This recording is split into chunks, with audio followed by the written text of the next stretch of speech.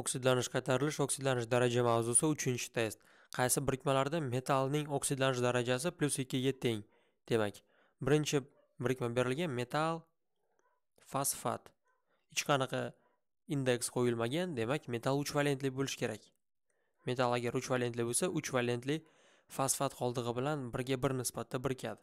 Demak birinchi birikmada metall uch valentli ikkinchi birikma metall gidrofosfat.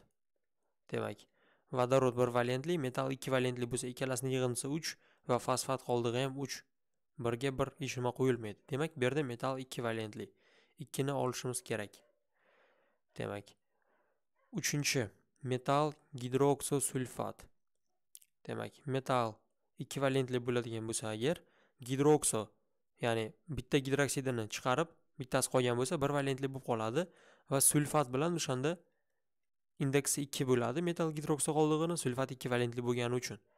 Demak metal bu yerda ekvivalentli. Uchni olamiz. Demak to'rt. Metal gidrosulfat. Bu yerda metall ekvivalentli emas bir valentli bo'lishi kerak. To'rtta. Metal gidrosulfat. Masalan natriy gidrosulfatga o'xshagan.